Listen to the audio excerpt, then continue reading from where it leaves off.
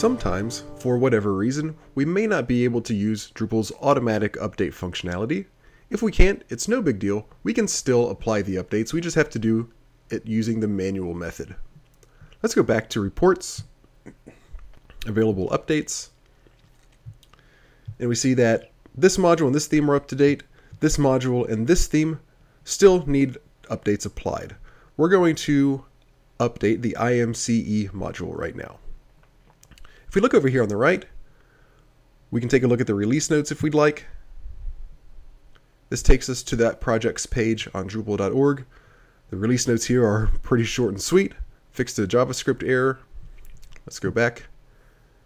We can go ahead and download this directly from this link. This is not downloading it to your site. This download link downloads it to your local machine. So we're going to click on that. And here's the file that it's going to download. Download that somewhere on your local computer. And once that's downloaded, you're going to go to your cPanel.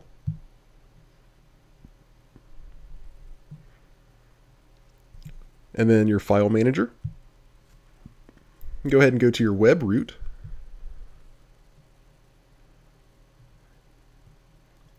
And in Drupal 8, modules go in the modules directory. They used to go in the sites all modules directory, but as of Drupal 8, that's just modules. So we're going to navigate to this directory, and now we're going to upload the file that we just downloaded. That's the newest version of the module that we're updating. Go ahead and select that tar.gz file, click open,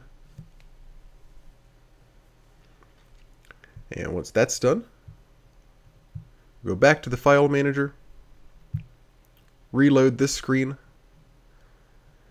and first we're going to delete the version of IMCE or whatever module you're updating. We're going to delete the version that we currently have on our site. So select that one and click delete. Once that's done, we'll select this new one and extract it. We'll use this path, extract files, and here are all the files that it took out of there. We'll close that. Let's reload this again.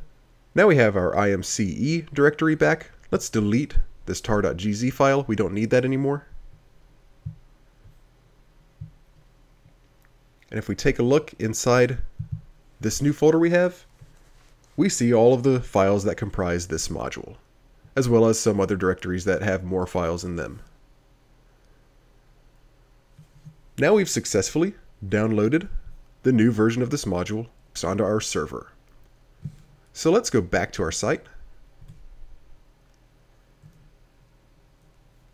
And after you do that, it's always good to run update.php by going to your domain slash update.php. And we're going to go through this process of updating the database if the module requires that any changes are made to the database, if the module requires that any changes need to be made to the database. We get the message making sure we've backed up our code and our database before we do this, just in case something goes wrong. We click continue, and we get the message that there are no pending updates. The modules don't need to do anything to the database. We should be all good to go. Let's go to administration pages, and let's go to reports, available updates, and scroll down a little bit, and we see that this module is now up to date. All we had to do was manually replace the old folder that contained this module with the folder containing the new version.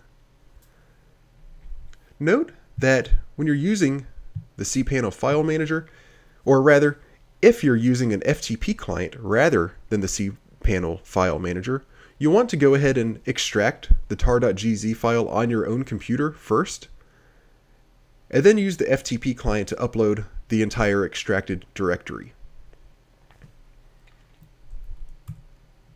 Now that we've done that, this module is updated just as well as the one that we applied the automatic update with.